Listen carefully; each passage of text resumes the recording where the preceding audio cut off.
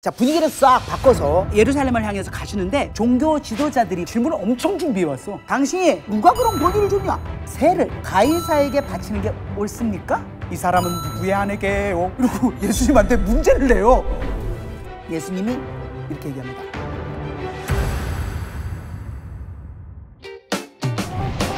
모든 사람이 성경을 알게 되는 그날까지 신약의 세계로 오십시오.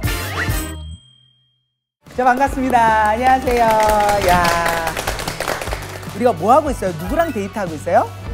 예수님과 데이트하고 있어요. 그래서 마치 예수님께서 우리 앞에서 이야기해 주시는 것 같은 그런 감동을 받습니다. 오십시오를 보시는 분들도 그렇죠? 자 화이팅 하면서 같이 한번 가도록 하겠습니다. 자 19장 여리고에서 이제 누구를 만나냐? 아주 뭐 통이 큰 사람을 만나요. 삭개요. 항상 어딜 가면 내가 삭개요. 내가 오라 뭐 밥 살게요. 이 삭개오는 세리장이에요. 세리인데 장이야. 그럼 이건 많이 벌었겠죠. 그런데 항상 마음에 이게 뭔가 있잖아요. 어? 사람들한테 손가락질 당하고 이게 너무 마음이 아팠어요. 그리고 예수님의 이쪽을 지나가신다는 얘기를 듣고 사모하게 된 거예요. 근데 얘가 키가 너무 작아. 키가 작아서 예수님을 볼 수가 없는 거야. 왜냐하면 거의 뭐 수백 명, 수천 명이 같이 다니니까요. 구름대로 몰려다녔거든. 그래서 어디로 가냐면 어디로 가야 돼? 높은 데로 올라가야 돼. 뽕, 어? 나무. 나무. 무슨 나무야? 이 나무. 맞아요. 이 나무 맞아요. 이렇게 펼쳐져 있는 뽕나무로 올라갔어요. 뽕나무를 돌무화과 나무라고도 해. 그래서 거기 올라갑니다. 딱 올라가서 올라가서. 어 보인다. 예수님이 쫙 가는 거야. 그런 거야. 어뭐 저렇게 생기셨구나. 어야 어, 진짜 되게 인자해 보이신다. 하는 거야. 그런데 예수님 가면서 사개오야 속히 내려와라. 내가 오늘 밤 너희 집에서 하룻밤 잘라고. 그런 거야. 뛰어 내려왔어 너무 신나서 영접을 해요 그리고 주여 주여 약간 사개오가 조회랑 이게 성격이 되게 비슷해. 그냥 질러. 내 소유의 절반을 가난한 자들에게 주고요. 어 그리고 속여 뺏은 것이 있잖아요. 그러면 제가 네 배로 갚을게요. 원래는 율법을 보면요. 부정으로 취한 것은 5분의 1만 줘도 돼요. 근데 사개오는 그거 중요하지도 않아. 지금 너무 흥분했어. 아니 예수께서 자기 이름도 아시고 이렇게 우리 집에서 주무신다고 하고 너무 좋은 거야. 어 그렇게 하겠습니다. 이렇게 질렀어요. 그러니까 오늘 구원이 이 집에 이르렀다. 사개오는 아브라함의 자손이요. 인자는 이렇게 잃어버린 사람을 찾아 구원하러 왔다 라고 이야기하십니다.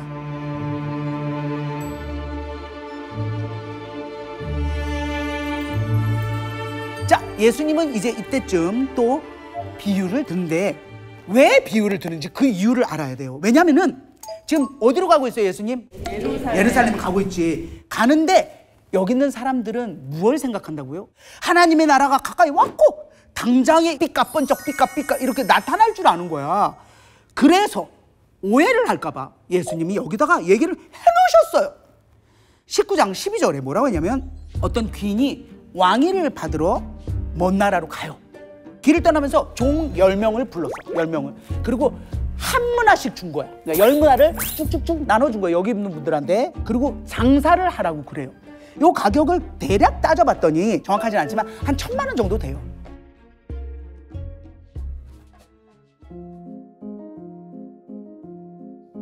이제 돌아와서 보니까는 한 종은 열 문화를 남긴 거야. 그러니까 열 배로 남긴 거야. 장사를 잘한 거야. 그러니까 아 잘했다. 너무 잘했다. 칭찬하면서 열 고를 줘. 또 한 종은 다섯 문화를 남겼대. 그러니까 다섯 고를 줘. 한 종은 한 문화를 가졌어요. 받은 게 뭐예요? 한 문화잖아. 왜 한 문화만 가져왔어? 그랬더니 아 제가요 주인께서 엄한 사람인 걸 아니까 되게 엄격하잖아요. 그리고 당신은 두지 않은 것을 취하고 또 심지 않은 것을 거두시잖아요. 그래가지고 요거를 딱 보자기에 싸놔갖고 그대로 내가 그대로 쓰지도 않고 지금 딱 가져온 거야. 그랬더니 악한 종아, 악한 종아. 은행에 넣었으면 이자라도 받을 텐데. 그래, 네가 나를 완전히 오해해서 그걸 그대로 싸놨어. 그걸 내놔. 그리고 열무나 있는 사람한테 그걸 줘.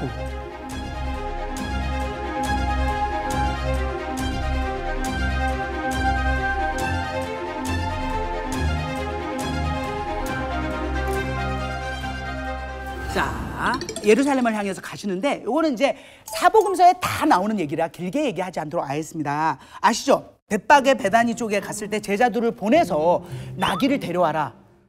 그래서 이 나귀를 데- 갖고 와서 옷을 깔고 그리고는 예수님을 태우시고 어 알잖아 스가랴 구장 9절에 정말 내 나귀를 타고 이- 저 오시잖아요 그리스도께서 그래서 그거를 그대로 하시면서 찬송하리로다 주의 이름으로 오시는 이여 하늘에는 평화요 가장 높은 곳에서는 영광이로다 라고 하니 거기서 보던 몇 바리새파들이 저기요 예수님 저 제자들을 좀 조용히 시키시오. 그리스도가 오는 것처럼 메시아가 오는 것처럼 이렇게 하는 거. 요건 신성모독이요. 이런 이런 뜻이에요.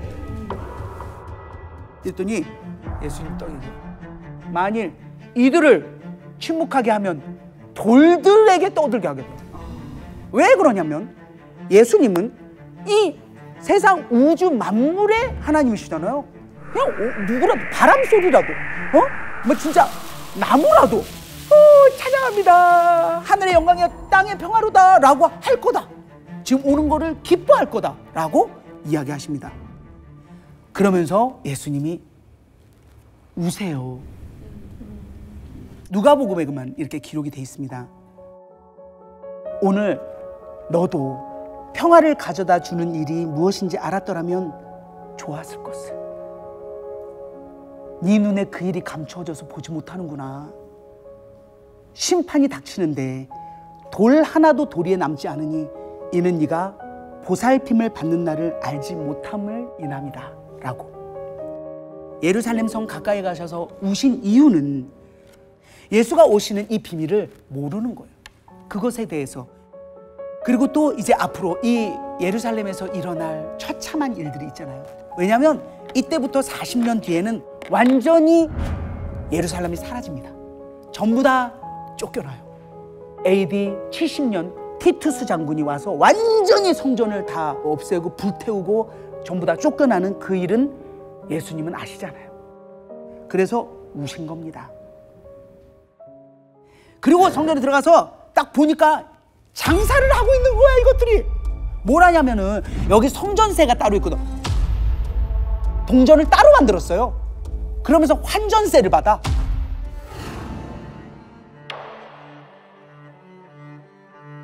그리고 여기에서 비둘기, 양 이런 거 매 이런 거 다 파는 거야. 왜? 지금은 아직도 구약적인 제사를 지내니까 병들고 이런 것들은 이제 또 안 되잖아요. 그러니까 여기서 쌩쌩한 것들, 이런 것들을 팔면서 몇 배로 불려서 받고 있는 거예요. 그러니까 예수님이 거기를 다 쫓아내면서 내 집은 기도하는 집이 되리라. 그렇게 얘기했거늘 너희는 강도의 소굴로 만들었다.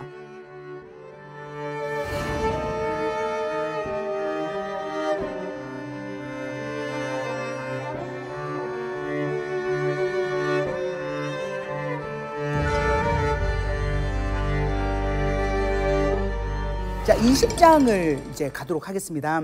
예수님이 이제는 성전에서 복음을 전하는 거죠. 예수님 전하니까 종교 지도자들이 거기 있을 거 아니에요. 성전에서 그 사람들이 물어봅니다. 당신이 무슨 권위로 이런 일을 하는지 우리한테 말하라. 누, 누가 그런 권위를 줬냐? 라고 했더니 예수님이 이렇게 얘기합니다. 나도 한마디 묻겠다 그러면 요한의 세례가 세례 요한 얘기하는 겁니다. 요한의 세례가 하늘로부터냐 사람으로부터냐? 그랬더니 그 종교 지도자들이 가만히 있어봐라. 세례 요한이 예수님을 메시아라고 인정했잖아요. 그런데 어, 하늘로부터라고 하면은 안 믿은 것이 죄가 될 거고 그 다음에 사람으로부터라고 하면은 세례 요한을 지금 선지자로 알고 있잖아요.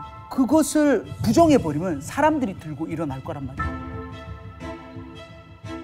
양쪽으로 어디 쪽이든 치우칠 수가 없는 거야. 그럼 뭐라 그래요? 우리 자주 하는 거 있잖아. 모릅니다. 기억이 안 납니다. 그러니까 예수님 뭐래요? 어 그래.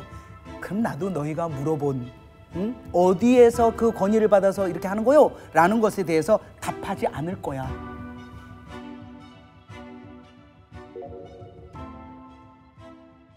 그 다음에 비유로 얘기하세요. 여기에서는 백성에게라고 해요. 거기 있는 사람들에게도 다 이야기를 합니다. 포도원 주인이 있어요. 다 관리를 못하니까 농부들에게 세를 준 거야. 그 다음에 수확 때 그 사람들도 소출을 가져가지만 주인도 좀 받아가야 되잖아요. 그래서 주인이 종을 보내서 돈을 받아오라고. 그랬더니 농부들이 그 종을 때려! 가이씨! 그러면서 줄 거 없어! 그러면서 때려서 보내요. 그래서 또 종을 또 보냈어. 또 더 때렸어. 그 또 종을 보냈어. 또 때렸어. 도저히 안 되겠다. 이것들. 내가 내 아들을 보내리라. 아들한테는 주겠지. 하고 포도원 주인이 아들을 보냅니다. 아들을 죽였어요. 저 아들이 없어져야 우리가 우리 것을 차지할 수 있겠다 해서 아들을 죽여요. 그렇다면 이 포도원 주인이 화가 났을 거 아니에요. 와서 어떻게 하겠어요? 농부들을 다 잘라버리겠죠. 잘라버리고 그 포도원은 다른 사람에게 세를 주겠죠. 이 이야기를 합니다. 이건 뭘까요? 주인은 누굴까요? 하나님. 자, 아들은 누굴까요? 예수님. 그러면은 보낸 종들은 누굴까? 선지자들. 선지자 얼마나 많이 보냈어. 어? 호세아도 있고 이사야도 있고 예레미야도 있고 에스겔도 있고 다 있었잖아. 그리고는 농부들은 누구예요? 지금 물어보는 유대 종교 지도자들. 그제?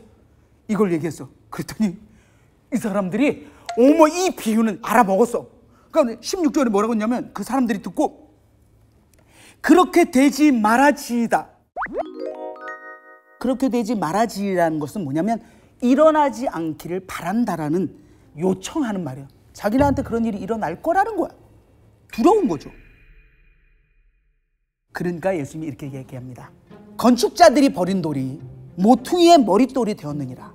자, 건축자들이 버린 돌이 뭐예요? 예수님. 에이, 쓸모없어! 너무 뭐야! 하고 버린 것이 모퉁이의 머릿돌이 되는 거예요. 우리 교회의 머릿돌은 누구세요? 예수님이잖아. 그 이야기를 하신 거예요. 돌 위에 떨어지는 자. 근데 진짜 어, 얘는 부정했고 어, 예수님을 핍박했고 한 사람은 완전히 깨지겠고 이 돌이 사람 위에 떨어지면은 그를 가루, 가루로 만들어서 흩으리라라는 것은 불신자들은 스스로 돌에 걸려서 가루가 되고 그리고 심판날 알곡과 가라지는 완전히 갈라지듯이 이렇게 구별된다라는 것을 이렇게 살벌하게 표현을 하셨습니다. 19절에 뭐라고 써 있는지 알아요? 이 비유가 자기들을 가르쳐 얘기한 걸 안다. 그래서 이제 도저히 안 되겠다. 다음 질문. 질문을 엄청 준비해 왔어. 왜냐하면 꼬투리를 잡아야 되거든. 자, 다음 next question. 자, 그렇습니까? 우리가 세를 가이사에게 바치는 게 옳습니까? 라고 물어요. 가이사가 누구예요? 로마 황제란 말이야. 지금 이스라엘은 어디의 속국이에요? 로마의 속국이에요. 그래서 세금을 내야 된단 말이에요. 근데 이거를 잘못 얘기했다가는 지금 현재 이 나라를 다스리고 있는 로마의 황제나 이 사람들한테 잘못 보일 수 있단 말이야. 그러니까 예수님을 시험에 빠뜨리려고 하는 거예요. 예수님이 그 사람들에 악한 의도를 아시고 데나리온 돈을 가져와 봐라. 그 저 저 로마 돈이에요. 딱 갔어. 그 거기에 뭐가 그려져 있어요? 가이사 로마 황제가 그려져 있는 거예요. 딱 예수님 한 말입니다. 가이사의 것은 가이사에게, 하나님의 것은 하나님에게. 이게 무슨 뜻이에요? 모든 게 다 사실 누구 거예요? 하나님 거지.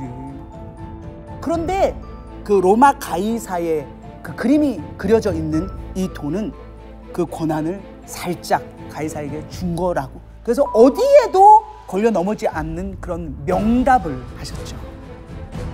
물어본 그들 할 말 없음 삐 이렇게 된 거죠.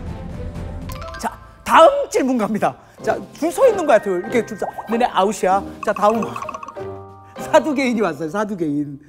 이 사두개인들이 와서 뭘 물어보냐? 계대 결혼법에 대해서 물어봅니다. 계대 결혼법 이거는 신명기 25장 1절에서 10절에 있는데요. 여긴 뭐냐면 결혼을 했어. 근데 남편이 돌아가셨어요. 그 남편 형제가 있잖아. 그러면 이 부인이 대를 이어야 되는 거예요. 그러면 둘째도 돌아가셨어. 셋째 가고 총 일곱 명과 쭉 결혼해서 마지막에 일곱째의 부인이 되었다면 이 사람은 누구의 아내게요? 그리고 예수님한테 문제를 내요. 사두개인은 모세 오경만 믿고 부활, 천사 이런 거 안 믿습니다. 영생도 안 믿어. 예수님이 대답합니다. 이 세상과 달리 부활된 자는 장가 시집 안 간다.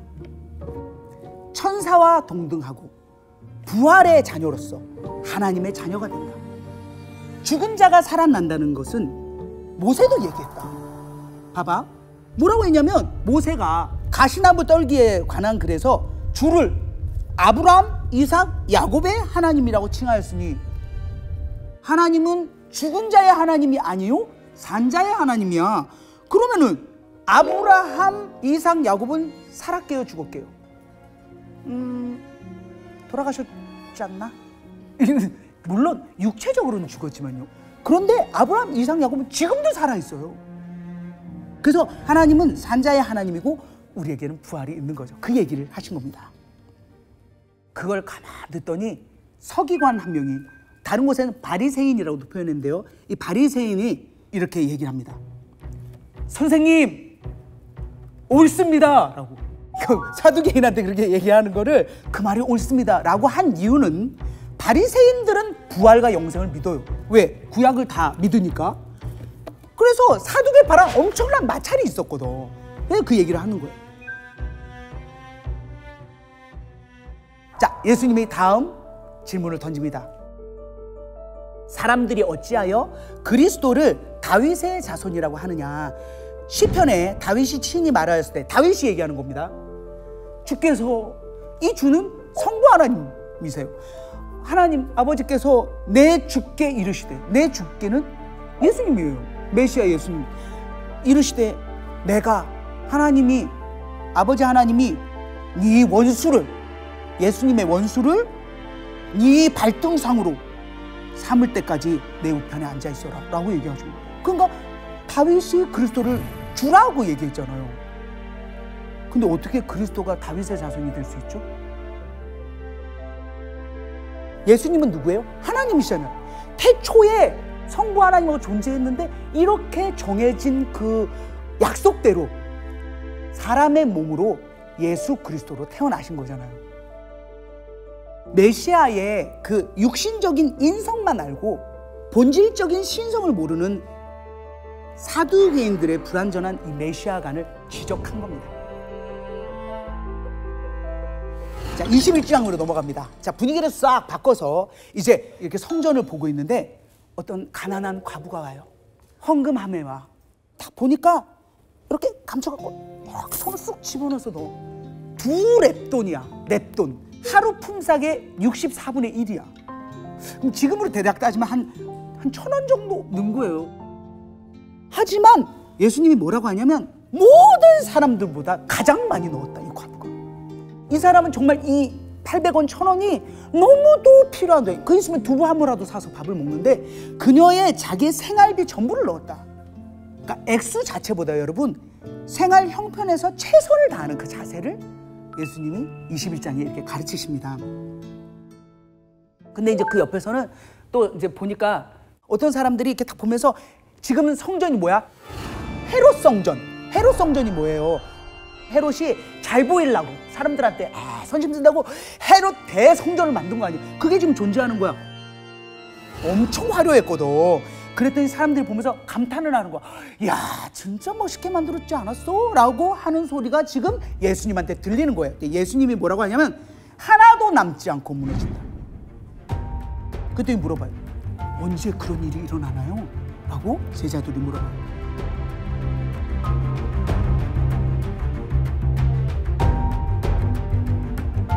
어찌됐든 시기는 알려주실 수가 없죠. 왜냐하면 하나님만 아시는 일이니까. 지금도 우리는 모르잖아요. 그죠? 그런데 이 얘기는 합니다. 적그리스도가 나와서 미혹한다. 지금도 많잖아요. 예수 그리스도를 믿는 것을 방해하는 이단들, 그리고 잘못된 종교들, 이런 종교 사기꾼들이 나와서 미혹을 할 거고, 전쟁이 있을 거고, 지진과 기근과 전염병이 있다. 그리고 믿는 자들에게 박해가 있을 거다.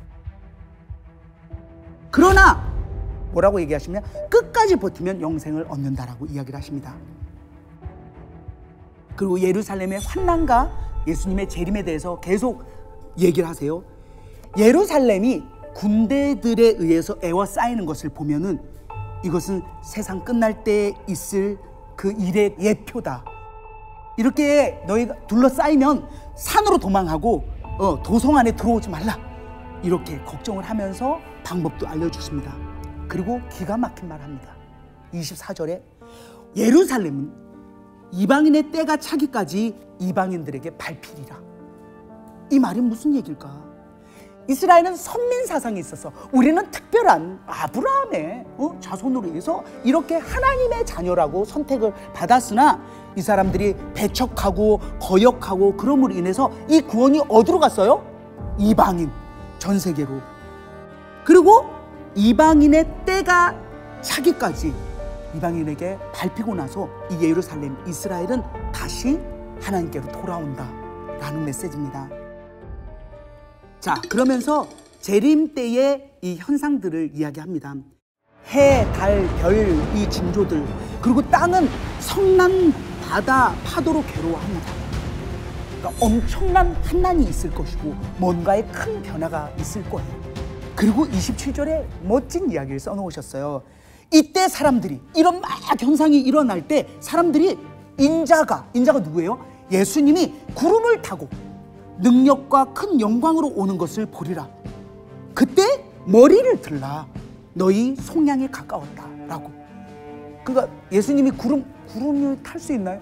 이거는 진짜 정말 구름을 타고 오신다라는 것이 아니라 이 표현은 초림은 진짜 초라하게 오셨잖아요. 진짜 말구유 요만한데 거기에서 태어나셨더라고요. 그 초림과 전혀 다르게 세상이 다 보, 보게 영광스럽게 공개적으로 오신다라는 거예요. 그리고 또 이걸 또 이해 못할까 봐 주님이 나무로 이제 표현합니다. 여러분 무화과 나무가요.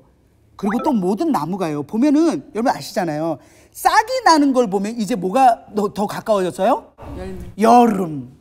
2, 3월 될 때는 나무가 막 말라가지고 제가 언제 초록색이 될까? 어머나! 4월 되니까 애들이. 그치? 벚꽃부터 쫙 피면서 막 얇은 연한 연두색이 나다가 여름이 가까워졌다. 가까워져 오는 부다 이런 것처럼 하나님의 나라도 가까이 온 줄 알아라. 이 세대가 지나가기 전에 모든 일이 다 이루어지리라. 그리고 당부하십니다. 이 말이 우리에게 중요한 것 같습니다. 34절을 우리 한번 함께 읽어볼까요? 요거는 너무 중요해서 시작 너희는 스스로 조심하라. 그렇지 않으면 방탕함과 술 취함과 생활의 염려로 마음이 둔하여지고 뜻밖의 그날이 덫과 같이 너희에게 임하리라. 아멘. 여러분, 정신 바짝 차리래요. 그때도 그냥 아유 그냥 한 잔 하자. 인생 뭐 있냐? 그냥 살다 가는 거지. 안 됩니다. 그러면 안 됩니다. 뭐라고 써 있어요? 방탕하지 마라. 술 취하면 안 된다. 생활의 염려로 마음이 둔하여져. 응? 하루하루 사는데 예상치 못할 때 그날이 임합니다. 내일 오실지도 모르고 1년 뒤에 오실지도 모르고 언젠지 모르지만 예수님 정말 재림하시는 걸 약속하셨기 때문에 예수님 앞에 멋지게 서도록 항상 기도하며 깨어 있어야 됩니다. 22장입니다. 예수님은 최후의 만찬을 준비합니다. 그때 제자들이 어떻게 하는 줄 알아요? 검이 둘이 있습니다. 진짜 말 그대로만 들어. 진짜 예수님이 그걸 보면서 제자들에게 서글픈 마음이 드셨을 거예요. 그리고 예수님은 체포되어서 하나님과 죄인 사이를 예수님이